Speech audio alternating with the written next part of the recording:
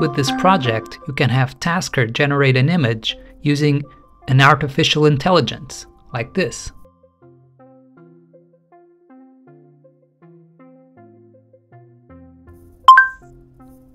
It generates the image, takes a little bit, then downloads the image, and then opens it.